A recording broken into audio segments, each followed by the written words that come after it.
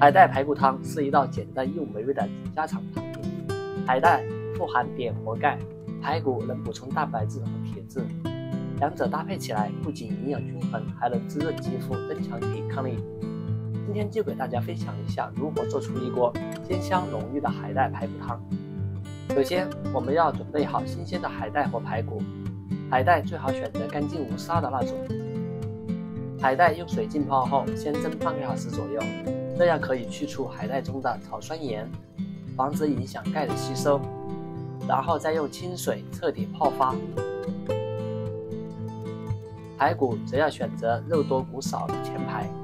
排骨洗净，切成四厘米左右的段，用开水搓一下水，去除血水和杂质。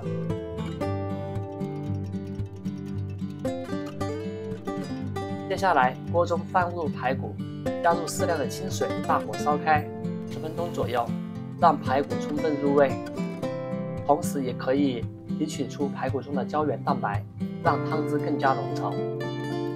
倒入海带，继续再煮十分钟左右，让海带吸取汤汁中的精华。最后加适量的食盐调味即可。锅香喷喷的海带排骨汤就做好了，海带软嫩透亮，排骨肉嫩多汁，汤汁金黄浓郁。